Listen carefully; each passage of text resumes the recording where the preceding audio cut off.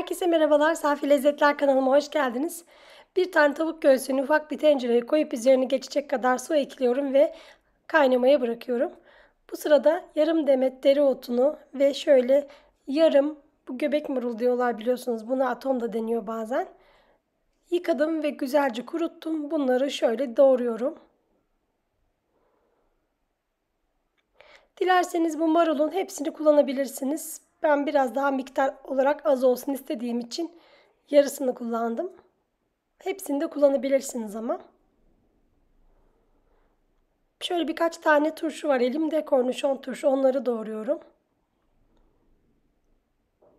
Turşu miktarını biraz artırabilirsiniz. Benim elimde az kaldığı için bunları kullandım.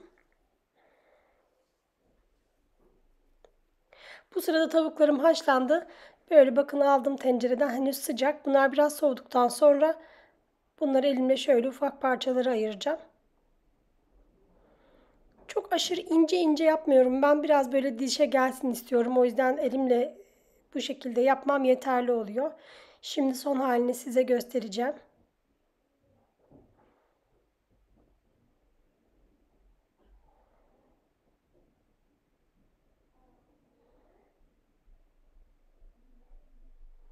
Şimdi bir kasenin içine önce doğramış olduğum yeşilliklerden bir kısmını ekliyorum. Sonra turşuları ekliyorum. Sonra tavuklardan şöyle ekliyorum.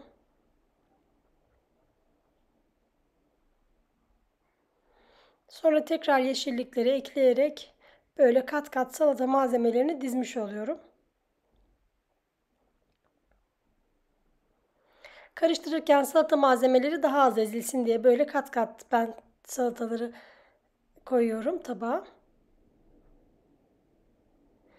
Şöyle bir küçük kutu konserve mısır var elimde. Onu kullanıyorum. Şöyle 2-3 yemek kaşığı kadar yoğurdun içine bir tatlı kaşığı mayonez ekliyorum. Ve bir çay kaşığı kadar da tuz ilave ederek bu karışımı, bu sosu şimdi salatamıza dökeceğiz. Dilerseniz süzme yoğurt kullanabilirsiniz. Süzme yoğurdu biraz açmanız gerekecek ama o yüzden ben normal kendi mayalamış olduğum yoğurdu kullandım. Süzme yoğurt kullanmadım bu sefer.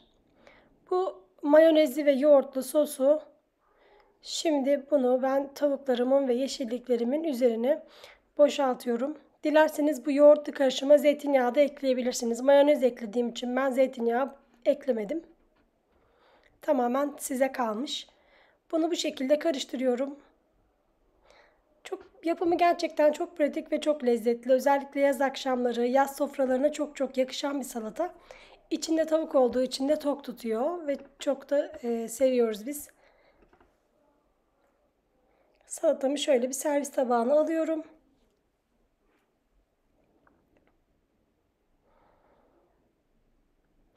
Dereotlarını özellikle çok minik doğramadım. Çok çünkü çok çok minik doğrayınca eziliyor ve böyle içinde yokmuş gibi oluyor. Sizlere fikir olabilir bu. Bakın salatamın görüntüsü böyle. Biz çok seviyoruz. Yaz günü mutlaka e, iki haftada bir mutlaka yaparım bu salatayı. Çocuklar da sevdiği için rahatlıkla tüketebiliyoruz. Gelelim ikinci salatamıza. İkinci salatamız oldukça pratik. Şu anda zaten tam mevsimi geldiği için pazarlarda ve marketlerde bol bol göreceğimiz bir sebze. Biberden bir kızartma yapacağız. Bu şekilde ben taze biberleri şöyle içlerini temizliyorum. Yıkadım zaten biberlerimi. Ve şöyle parmak parmak doğruyorum tavanın içine. Bir tane de kırmızı biber kullandım renk vermesi için gerçekten güzel oldu.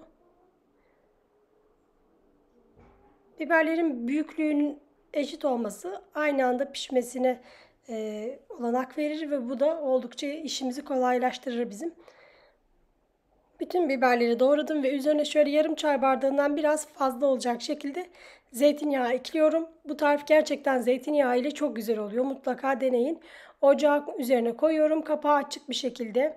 Ara sıra karıştırarak bunları kızartıyorum. Bakın bu şekilde biraz etrafa sıçrıyor ama kapağına özellikle buhar oluşumu olmasın diye kapağını kapatmıyorum.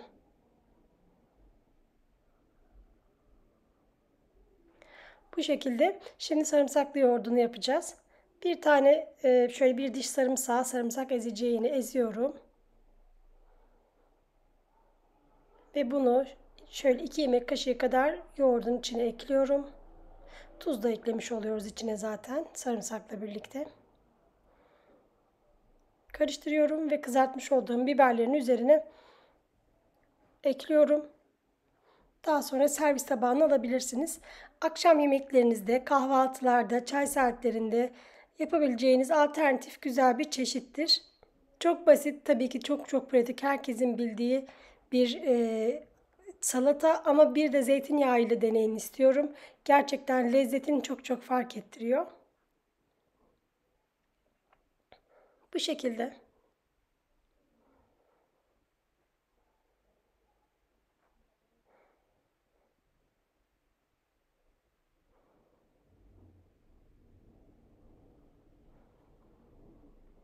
Ve geldik üçüncü salatama. Bir buçuk çay bardağı yıkanmış mercimeği tencereye alıyorum. Üzerine 3 çay bardağı normal oda sıcaklığındaki suyu ekliyorum. Ocağın altını açıyorum. Orta ateşte şöyle mercimekler tamamen iyicene ezilip dağılana kadar pişiriyorum. Çok yüksek ateşe koyarsanız suyunu birdenbire çekecektir. Orta ateşte ara sıra karıştırarak bu işlemi yapmanızda fayda var. Bakın bu şekilde bir kıvam aldı. Biz bir miktar daha şimdi bekliyorum. Hemen e, bulgurunu vermiyorum. Çünkü ezilmeyen mercimekler var. Bakın görüyorsunuz. Kıvamı bu şekilde. Şimdi şu ezilmeyen mercimeklerin de bir tık ezildiğini göstermiş olacağım size. Bakınız bu şekilde tamamdır. Şimdi bunun üzerine bir çay bardağı ince bulgur ekliyorum. Ve şöyle bir tur karıştırıyorum. Ocağın altını ve tencerenin kapağını kapatıyorum. Mercimeklerim e, ve bulgurum şöyle yumuşayıp soğuyup pişene kadar bekliyorum. Bu sırada ben sos malzemelerini hazırlayayım. Bir tane kuru soğan yemeklik doğradım. Şöyle yarım çay bardağından biraz fazla zeytinyağı ekliyorum. Soğanı güzelce zeytinyağında kavuruyorum. Kavrulan soğanın içine toplamda bir yemek kaşığı olacak şekilde domates ve biber salçası ilave ediyorum. Biberin de şöyle çiğ kokusu çıkana kadar şöyle bir kavuruyorum. Sonra sosumuz hazır ve ocağın altını kapatıyoruz. Soğuyan mercimekli bulgurlu karışıma soğanlı karışımımı ilave ediyorum. Onlar birazcık daha soğurken ben şimdi yeşilliklerimi hazır etmek istedim. Yarım demetten biraz daha az şöyle bir tutam maydanoz ve 4-5 tane e, minik taze soğan var elimde. Bunları şöyle ufak ufak doğruyorum.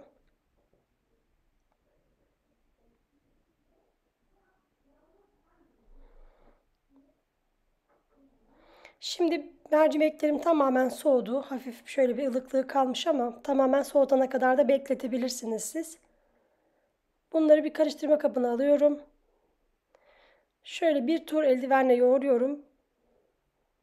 Bu, bu karışımı dilerseniz akşamdan yapıp buzdolabına koyup sabahtan köftelerinize şekil verebilirsiniz. Yarım limonun suyunu ilave ettim. Kimyon, Toz kırmızı biber ve karabiber ilave ediyorum. Hepsi birer çay kaşığı olması yeterlidir. Bunu güzelce yoğuruyorum. Dilerseniz bunu mutfak şefinde de yapabilirsiniz. Güzelce yoğurdum. Kamerayı kapatıp biraz daha uzun. Bir tatlı kaşığı kadar tuz ilave ediyorum. Salçalarınız tuzluysa ona göre kontrollü bir şekilde eklemenizde fayda var. Şu an köftemin kıvamı güzel ve şimdi yeşillikleri karıştıracağım. Yeşillikleri ekledikten sonra çok daha fazla bir şekilde böyle sert sert yoğurmuyorum.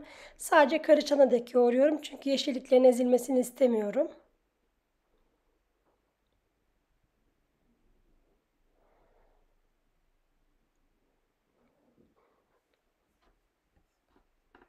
Bu şekilde bakın sadece karıştırdığım yani karışması için yoğuruyorum. Servise bağımın altına bir tane marul yıkadım koydum ve hazırlamış olduğum köfteleri servis tabağına diziyorum. Mercimek köftesini farklı şekillerde, farklı sunumlarda da yapıyorlar. Fakat biz bu şekilde klasik halini çok seviyoruz. O yüzden ben yine bu şekilde yapmayı tercih ettim. Kıvam gerçekten çok güzel oldu. Özellikle yoğurma aşamasında biraz yoğurursanız güzel sakız gibi böyle pürüzsüz bir kıvam elde etmiş oluyorsunuz. Bütün tariflerim hazır. İlki bakın bu şekilde mercimek köftesi ve tam ölçüdür. Sizi kesinlikle üzmez ve asla e, dağılma, parçalanma olmaz, kurumaz.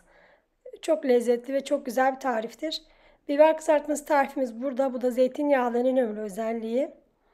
Ve tavuklu göbek salatalı mısırlı salatamız. Bu şekilde 3 tane tarif paylaşmış oldum bugün. İzlediğiniz için çok teşekkür ediyorum. Yepyeni tariflerde görüşmek dileğiyle. Hepiniz hoşçakalın. Allah'a emanet olun.